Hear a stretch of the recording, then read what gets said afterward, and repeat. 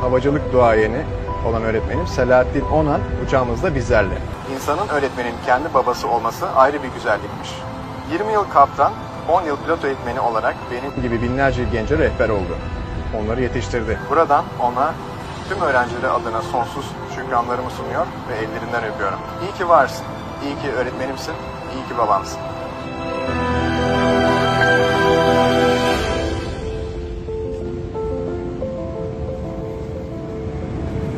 Hocam, Türk Hava Yolları'nın tüm kaptanları adına öğretmenler gününüz kutlu olsun. Tüm emekleriniz için çok teşekkürler hocam. Sizi çok seviyoruz.